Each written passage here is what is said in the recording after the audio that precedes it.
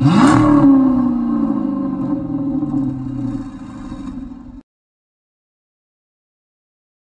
guys, so in today's video we're looking at a special edition Jeep Gladiator 6x6 truck with a six figure price tag. I was fascinated by the model and I thought you guys would enjoy this. The custom truck industry is an extremely expensive one, and there are often some wacky things that come out of it, like the $260,000 Ram 1500 pickup, also known as the Aznom Atulux. I made a video on that a while ago, I believe it was 2018, so you can check that out if you haven't seen it. But man was that one odd looking truck that was ridiculously overpriced but also very luxurious. Now the craze has shifted to six wheels with other competitors like the 536 horsepower Mercedes G63 6x6 and the 600 horsepower Hennessy Velociraptor 600. This Jeep based truck is called the Rezvani Hercules and it uses lots of Chrysler parts and blows those other competitors straight out of the water. So let's go over all the details inside and out. So first of all, who or what is Rezvani? Well, that's the automotive designer Rezvani Motors, based in Irvine, California, and they make high-performance sports cars. They were founded in 2014 by Iranian Ferris Rezvani, and in June 2014 they got started by introducing the Rezvani Beast, based on the Ariel Atom. The first Beast was purchased in 2015 by rapper Chris Brown for $200,000 US, and Enrique Iglesias also had one as well. Rezvani then took it a step further with the tank model release in November of 2017, which was exactly as it sounded, a real beast of a machine based on the Jeep Wrangler, and that was sold for a starting price of $180,000 US to some notable celebrities like Jamie Foxx, Rampage Jackson, and Chris Brown again. So now let's have a look at the features of this thing. I'm still trying to take in how it looks, and it's something very different and unique. That's not always a good thing, but Rezvani killed it here. It looks phenomenal. Beastly, barbaric, savage, carnal, and monstrous are some words that come to mind. So officially, this will be a 6x6 pickup, which some are already calling the god of all trucks. If it looks familiar, that's because it's based on the Jeep Gladiator pickup, with a highly modified body and a massively jacked up price tag. The Hercules is fully reskinned from top to bottom and fitted with a second rear axle. It's 244 inches long, 26 inches longer than the Gladiator, and 90 inches wide, 17 more than the Gladiator.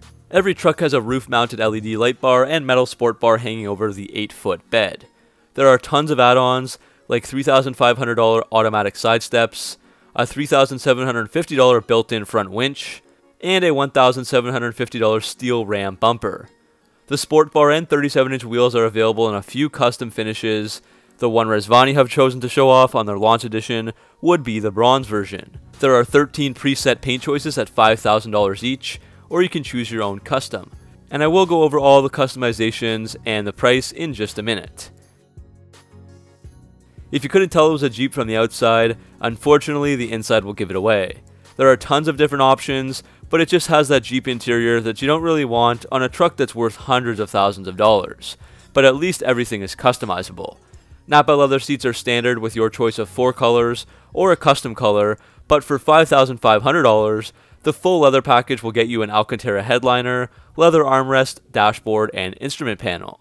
There are six different seat styles, five different stitch colors for $500 extra, and 10 gauge face colors that will cost you $3,500.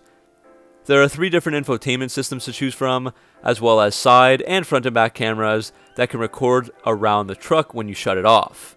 Other sweet options are a $950 center console safe and a $6,250 Starry Night headliner, which is straight from the book of Rolls-Royce. Other accessories include a waterproof car cover, trickle charger, vehicle tracking device, dual battery, 6500 thermal night vision system, and EMP or electromagnetic pulse protection for $2,500. On to performance, here's where the things go from tame to ludicrous real quick.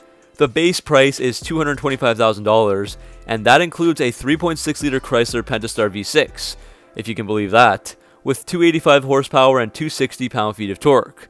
So your huge 6x6 will have the same engine found in a rental Dodge Grand Caravan. For a whopping $40,000, you can upgrade to the 500 horsepower 6.4 liter Hemi V8 from some various models like the Jeep Grand Cherokee SRT or the Dodge Charger and Challenger Scat Packs. Both the engines have the choice of a 6-speed manual or ZF 8-speed automatic transmission. But if you've got some serious cash to blow, then you need to get the 7-liter supercharged V8 Why not? It's only $249,000 extra. So Rezvani took a Demon engine, bored and stroked it from 6.2 to 7 liters, and added a forged stroker crankshaft, forged pistons, and a new camshaft, upgrading the output to 1,300 horsepower and 989 pound-feet of torque. So that would give the Hercules the crown of the world's most powerful six-wheeler, miles ahead of the G63 and Velociraptor 600. So that gets mated to the heavy-duty 8-speed automatic that was taken from the new Hellcat-powered Ram 1500 TRX. The truck has 6-wheel drive standard, but it is capable of sending power to 2, 4, or 6 wheels at the command of the driver.